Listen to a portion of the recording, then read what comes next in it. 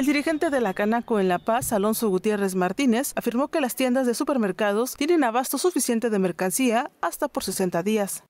Es un tema muy interesante que desde el viernes eh, hay un chat que tiene la Secretaría de Economía donde nosotros estamos muy activos preguntando a cada uno de los gerentes de cada una de las cadenas comerciales y nos han dado cifras que tienen inventario para 60 días de artículos. ¿Qué quiere decir?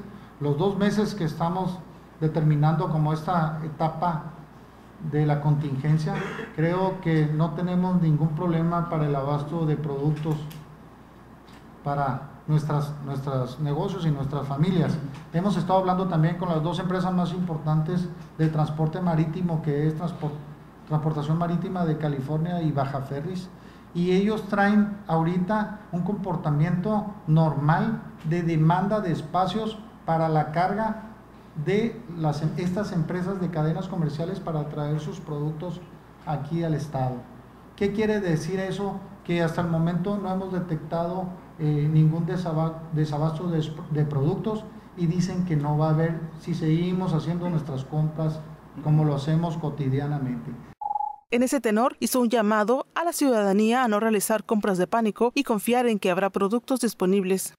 Aprovecho para hacer un llamado a la ciudadanía y no entrar en pánico como ha entrado en otros lugares.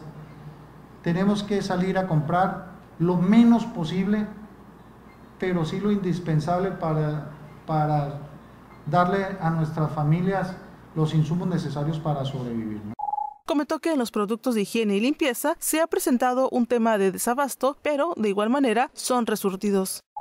Lo que sí ha habido desabasto son productos de sanitización, productos como cubrebocas, gel antibacterial, um, alcohol. alcohol. Esos son los productos que sí ha hado desabasto. Por el, por, el, por el mismo pánico de que todos queremos ir a comprar y comprar volumen para tener en casa, porque pensamos que va a haber desabasto, como el efecto del papel higiénico que se ha dado a nivel mundial. Eh, más sin embargo, esa misma comunicación con estas empresas nos dicen que poco a poco ellos traen por vía sistema una demanda de productos de ese tipo. Por lo tanto, van a estar llegando paulatinamente eh, a todas esas tiendas, incluyendo farmacias. Con imágenes de Bismar Moirón, reportó para CPS Noticias Claudia Viles.